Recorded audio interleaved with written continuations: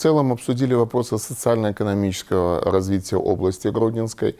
И э, если мы регистрируем некоторое снижение а, объемных показателей, на что справедливо указал президент, то при анализе финансовых показателей мы видим, что область работает достаточно стабильно. В очень непростое время увеличилась положительная сальдо а, внешней торговли товарами до 635 миллионов. Увеличилась рентабельность, увеличилась чистая прибыль а, области и снизилось количество убыточных предприятий.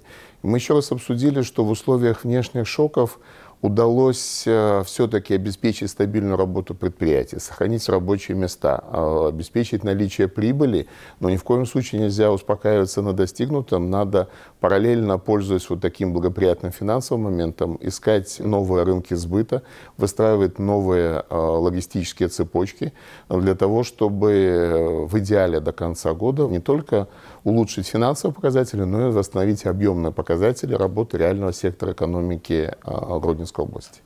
А то, что касается сельского хозяйства, да, оценили вопросы готовности к уборочной кампании. Еще раз было обсуждено э, и указано на необходимость строгого соблюдения технологий.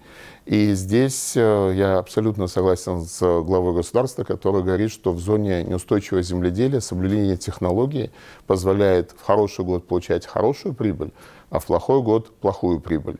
Но недопустимо, когда в хороший год мы получаем маленькие убытки, а в плохой год большие убытки. Что технология в сельском хозяйстве – это сейчас основа всего, которая позволяет не только обеспечить продовольственную безопасность страны, с этим вопросом наши аграрии уже справились, но и э, повышает экспортный потенциал нашей республики. Естественно, тема касалась и в начале разговора на это указано, э, ход строительства онкодиспансера Гродненского и строительства других социальных объектов.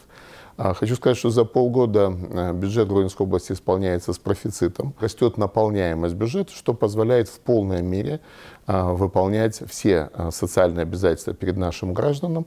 А благодаря финансированию из республики, из инновационных фондов, у нас ведется активное строительство онкодиспансера, оснащение его оборудованием. Мы надеюсь, если э, с поставкой оборудования будут решены все вопросы, в первую очередь будет введена в этом году. И продолжено строительство второй очереди, которая в следующем году будет введена в эксплуатацию. И параллельно строительство других медицинских учреждений, детских садов, школ. То есть ни один социальный объект не заморожен и продолжается его финансирование и строительство. Я доложил о том, что мы а, видим количество людей, которые воспользовались безвизом по всем направлениям, как белорусско-литовская, так и белорусско-польская граница, оно растет. Конечно, по объему а, белорусско-литовской границы здесь больше людей приезжает, воспользовавшись э, безвизом. А, мы не видим какой-то проблемы, связанной с данными визитами. Люди общаются со своими родственниками. Люди, даже если э, заезжают в магазин и что-то покупают, то, что им необходимо, наши граждане прекрасно видят, что у нас нет дефицита продуктов. И поэтому то, что кто-то их покупает и везет к себе э, домой за границу, ни у кого тоже агрессивной реакции не вызывает. Но, знаете, этот безвиз способствует межличностным контактам. А все-таки дружба и хорошие отношения между государствами, наверное, начинается с дружбы и хорошими отношениями между ее гражданами.